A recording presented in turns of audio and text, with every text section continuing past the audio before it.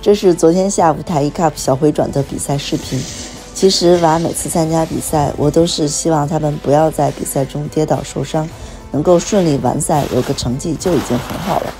至于名次，那都是努力和实力的结果，而且有很多运气成分在里面。我当时在上半段做裁判，并没有看到他摔倒，而看到他摔得这么惨的时候，真的很揪心。好在他没有受伤。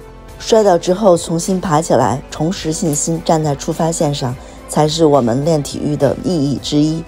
加油，我的大妞！